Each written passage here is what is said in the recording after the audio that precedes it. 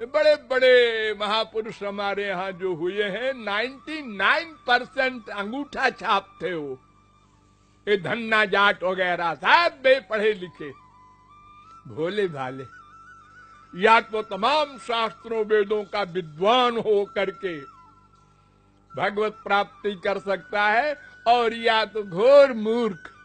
ये जो बीच वाले हैं थोड़ी थोड़ी नॉलेज वाले ये डेंजरस है। आप, हम भी समझते हैं कुछ। हाँ गीता पढ़ी है, भागवत पढ़ा है। ये पढ़ने से क्या होगा? ये पढ़ने से कुछ नहीं होगा। रो कर पुकारो। कितने आँसू बहाए भगवान के पाने के लिए। बस ये वास्तविक कसौटी है। हाँ माँ मर गई, बाप मर गया, बेटा मर गया, पति मर गया, बहुत आँसू बहाए। लड़की विदा हुई, तब भी बहा दिए आँसू।